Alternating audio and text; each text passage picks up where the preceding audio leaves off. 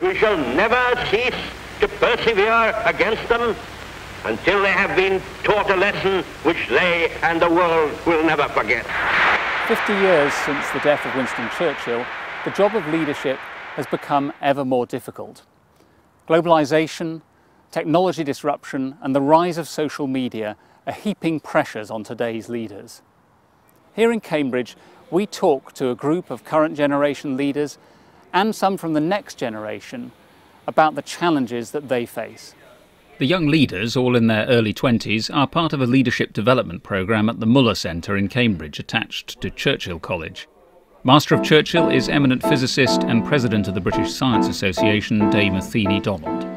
I think leadership has changed and no doubt will continue to change. I don't think it's radically different from Churchill's time, but I think the speed at which things happen, the speed at which you have to be seen to act is much faster. Things like social media raise all kinds of issues. Um, and I think the, the respect that leaders receive as a right has also significantly diminished. People are much more critical, much more prepared to be critical, and not just say, the leader knows best, sort of thing. Dame Athene says leaders today have to persuade, not coerce, a view reflected by Fatima Islam, who's studying war and psychiatry at King's College in London and who already leads 200 Army cadets in the university's Officers Training Corps. I think the fundamentals of leadership have remained the same. Um, it's just sort of changing views and changing attitudes. You can see a lot more, sort of, uh, a lot more different sort of leadership styles almost um, come out. Uh, they're a lot more obvious now, I think, than they were in the past. Um, through like because of you know those different things. So like I think you know the fact that like technology nowadays is so advanced, you know that means that people's views um, are rapidly changing or they're being challenged. But certain fundamental leadership qualities remain the same, as Tola James has found out setting up and running Nari Juice, which aims to bring West African palm juice to a wider audience with new flavours. I've learned from other people's leadership the ability to create a team through being yourself the ability to research in depth, uh, the ability to continue when the going gets tough, the ability to negotiate, getting everybody in harmony and in sync, getting everything else in harmony and in sync. Even more experienced leaders see change from a power based top down approach, like Robert Marshall, who heads the Marshall Group of industrial and property companies founded by his entrepreneurial great grandfather. Leadership has changed from a sort of model of, of command and control, which still seems to be that model favoured in many movies that we see of leaders that know exactly what they're doing and exactly what, uh, who to tell what, uh, to one of objective setting and of making sure that teams have common aims. Uh, the last time I told somebody to do something was I can't even remember. The last time I tried to set an objective and get somebody really to understand that objective and spent whatever time it took to make sure that that was done was probably yesterday. Fatima Islam believes this move to a more nuanced style of leadership is even true of the British Army. I think the perception that people have of the army being, you know, quite hierarchical and, um, you know, sort of, you know, you either do this or, you know, you're sort of out sort of thing it, may, it you know it, it, was it was true you know some years ago and it may be the case now but there's a lot of nurturing there's a lot of mentoring and care that goes into it. You're never going to be successful just by yourself and you need to make sure that you work with those people who you know around you to help support them and you know for them to be able to help support you in your role.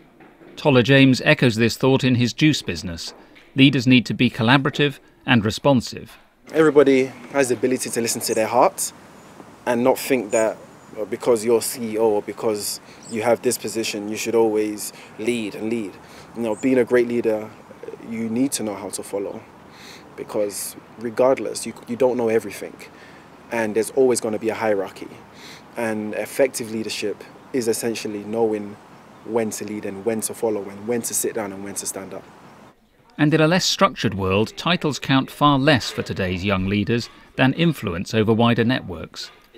While doing her medical studies, Emma Pension heads up communications for Student Network and health inequality charity Medsin UK.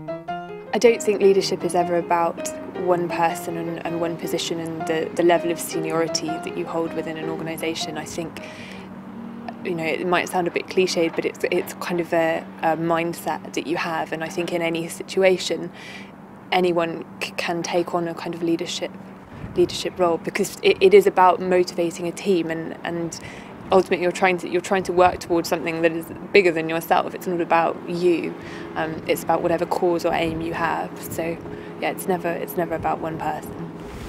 But in the days to come the British and American peoples will for their own safety and for the good of all work together in majesty in justice and in peace. But among all the leaders we met, one great, even Churchillian skill of leadership is unchanged, delivering a strong and simple message when faced with uncertainty and complexity. Rapidly altering markets have focused Robert Marshall on changing his staff's mindset. So, right now, I'm undergoing a major restructure of the company, and that involves taking a lot of people with you on a journey for which I don't yet have all of the answers. I think that my job is to make sure that I understand what's on their minds and then uh, really assimilating all of that information to try to get a clarity and a rather simplified uh, version of the way forward that people can follow.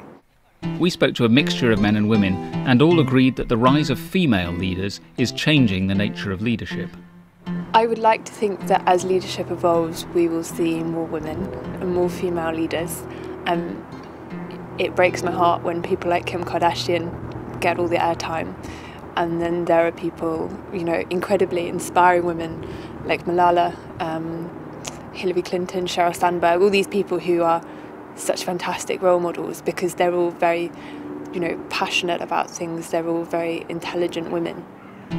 One of the ways in which leadership may be changing is the fact that there are more women coming up, more women being leaders. And I think as a woman coming up through the ranks, you often find that tactics that a man could do will backfire on you, um, that people dislike you and don't regard you as competent if you do the same things as a man might. So if you start getting very forceful, the woman is always accused of being aggressive, whereas the man might be said to be assertive. So I think there is a gender angle in this which needs to be understood. And of course, it's, it's women who dislike the women being forceful, it's not just the men. And so I don't know what the solution is, but I think as the dialogue continues about leadership and how gender may play into it, people will perhaps be a bit more realistic about this. It's clear that some fundamental things about leadership never change, integrity, for example. But what struck me today is that leadership over the past 10 years has shifted from being about powers invested in an individual with a title to being more about influence over groups and networks. Added to that, the rise of more women to positions of leadership, the increased use of technology and social media, and the sheer speed of change mean that it's hard to imagine that over the next 10 years the transformation won't be even more dramatic. Andrew Hill, Financial Times, Cambridge.